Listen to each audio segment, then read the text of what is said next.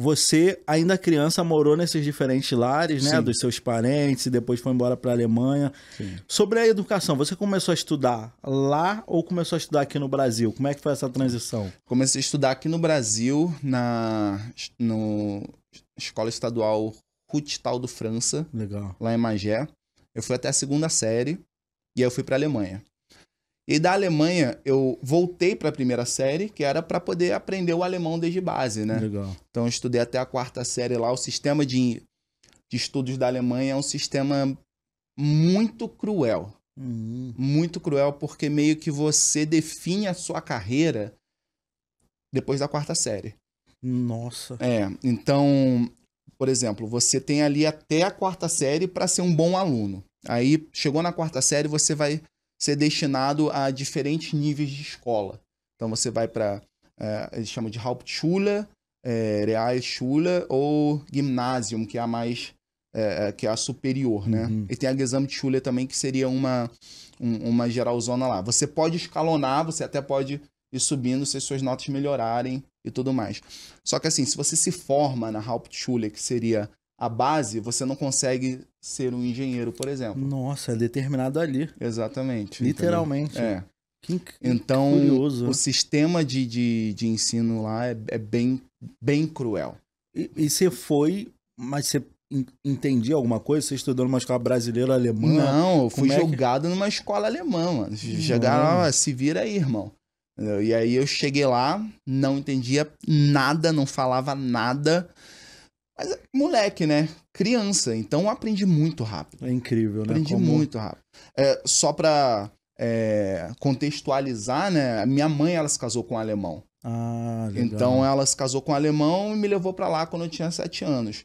Só que, como tinha toda essa questão, eu não entendia muitas coisas que aconteciam comigo lá. Eu não entendia racismo, eu não entendia por que, que as pessoas não gostavam de mim, não entendia por que que eu sofria bullying, só entendia que não gostavam de mim. Eu só entendia que eu me dava melhor com, com, com os moleques que, que eram rejeitados, com os moleques que faziam merda, que eram considerados os rebeldes me dava muito melhor com eles do que com as pessoas que. com, com- os bons alunos, com que todo mundo gostava. É só isso que eu entendia. Eu era criança. Então, é, é, eu não consegui me adaptar. Minha mãe também não, não, não, não tinha uma estrutura muito boa de educação nesse momento para poder me passar o que eu Hum. precisava naquela época. Sinistro. E esse foi o motivo de eu ter voltado. Como foi crescer em um país majoritariamente branco, né? E como isso afetou seu crescimento, sua leitura de sociedade?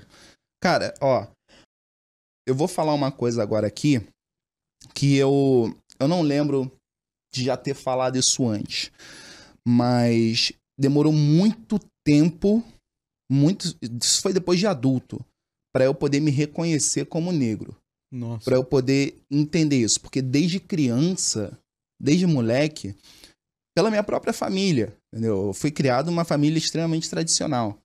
Então, tradicional, cristã e tudo mais. Ah, eles falavam, desculpa a, a, a forma de falar, mas você não é preto porra nenhuma, você é moreninho. Uhum. Então, uma criança coloca isso na cabeça e você vai crescendo com aquilo. E aí foi passando, a internet foi dando voz a pessoas que precisavam falar como você. Não, a pessoas como a Gabi, por exemplo. Uhum. E eu fui entendendo e comecei a associar situações que aconteceram na minha vida. Obviamente, eu jamais passei por muita coisa que pessoas pretas passam. Eu tive muita sorte, Sem dúvida. mas muitas situações eu só fui entender depois que aconteceu por conta de eu, de eu ser negro. Então, enquanto eu morava na Alemanha, isso não foi algo que, que, eu, que eu tive noção. Não foi algo que eu, que eu, que eu, que eu conseguia olhar pro cara. Nossa, só tem branco aqui, eu sou o único diferente. Eu não, eu não conseguia distinguir isso. Eu não conseguia entender por que, que eu apanhava na hora do recreio. Eu não conseguia entender por que, que, que, tinha uma situação lá que todo aniversário de um dos alunos da escola, é, a criança que tá fazendo aniversário, ela leva doce para todo mundo na escola. E eu fui a única pessoa que não ganhou doce. Hum. A professora teve que pedir para a aluna me dar. E eu não conseguia entender o porquê. tem muitas crianças e adolescentes ainda passando por esse processo, justamente, né? Por ainda precisar ser falado muito mais, né? Sim. É importante lembrar, galera, que no Brasil toda pessoa não branca, né?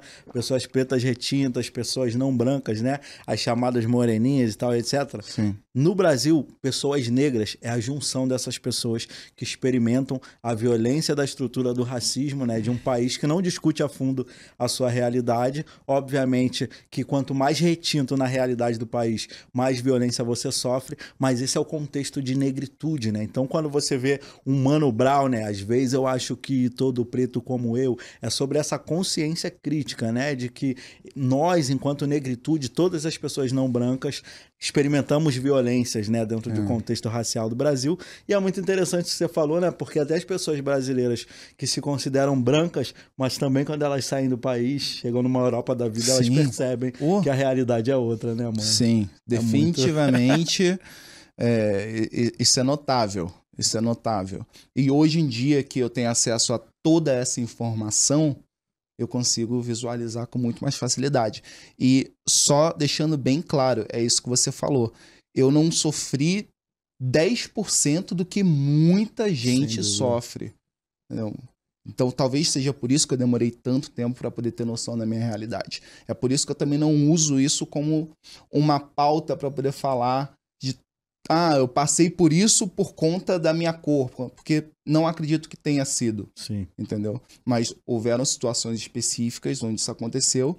Existem pessoas com, com, é, com a cor é, iguais às minhas que passam por dificuldades, que passam por situações no Brasil e no mundo que também se inspiram em mim, entendeu? É. Então acho importante falar sobre isso. Você nasceu ali na região de São Gonçalo Uhum. e ainda dentro do tema que você tá falando, quando você era criança, você foi morando em muitos lugares, né? Sim. Família separada, morou com tio, morou com avô, morou com mãe, morou com pai. Isso, tipo, 3, 4, 5 anos de idade. Eu não sou uma pessoa apegada, vamos dizer assim. Na, na verdade, minto, eu, eu acho que eu busco esse apego hoje em dia porque eu não tive isso quando eu era criança. Hum, interessante. É, Curiosíssimo. É, é. Eu não, não, eu não tenho. Eu não tenho exatamente. Exatamente. É isso. Eu não sei exatamente te falar se isso mudou algo na minha vida drasticamente. Eu só sei que eu preciso aprender a me virar independente do lugar que eu tô. Genial. E isso eu consigo fazer. Genial. Eu acho que isso é legal, assim, quando a gente vê a sua história. é, nem sempre a gente consegue circular os nossos familiares com tanta profundidade. Eu acho que essa possibilidade que você teve de morar com todo mundo também cria um vínculo mais forte com diferentes Sim. né, leituras, vivências e histórias Sim. dentro da própria família. E consumista? Muito. Muito? Extremamente consumista. É mesmo. Extremamente. Isso daí eu acho que. Quando você fala extremamente, você tá lembrando de coisa. Dá um exemplo de extremamente. Extrema. ó, eu tenho. Três PlayStation 5. Nossa. Eu tenho oito PlayStation 4. Meu Deus. Já tive 12 PS Vitas. Nossa, é real. É. A gente entendeu. É. Nossa, velho. Mas assim, é, hoje eu faço terapia, né? E... Literalmente. É, não, Muito faço, bom. é, de fato, faço terapia. Eu acho que todo mundo deveria fazer, inclusive. É, a princípio, pelo que a gente conseguiu identificar, é, foi a vontade de ter as coisas que eu sempre tive a minha vida inteira e nunca tive condições. É isso. Então, a partir do momento que eu tive, eu meio que extrapolei esse limite. Então, eu fui, fui, fui e agora eu tô controlando. Tanto que eu tô diminuindo, já, já me desfiz várias coisas, já doei várias coisas, já vendi outras coisas também. Incrível. Então, tô conseguindo dar uma controlada, uma É uma afirmação, né, cara? É. É muito louco. Eu vejo isso muito dentro da, da realidade do território periférico com o básico, né? Tipo, É. a carne. É. As pessoas não estão discutindo sobre veganismo, vegetarianismo, isso. É tipo, o ovo era a regra. Então, tipo, É. quando você chega na casa, principalmente alguém que veio do Nordeste, né? Que a maioria da minha família fala: come aí, tem carne, bota a mistura no É, prato. É muito sobre agora eu posso comprar e eu quero. O lance do consumismo é um, é um problema que eu tenho, tenho noção disso e tô controlando, tô tentando, tentando controlar, porque não dá. Eu tenho muito medo de eu dar pros meus filhos tudo que eu não tive em um nível acima. Hum, Porque sim, eu fui considerado rebelde, eu fui considerado tudo que você possa imaginar, a pessoa que não tinha jeito, que não tinha futuro, que não ia dar em nada, que não queria nada com nada, é, por basicamente toda a minha família. E eu nunca tive uma coisa muito básica que é o afeto hum. da, da, da, minha família. E eu falo isso abertamente. Hoje em Sim. dia eu tenho relação com alguns familiares e tudo mais. É, e eu tenho medo de, devido à primeira essa veia consumista que eu tenho uhum. e tudo mais, eu dar para os meus filhos tudo de mão beijada. Saquei. E eu não quero isso. Eu quero que eles entendam o valor das coisas.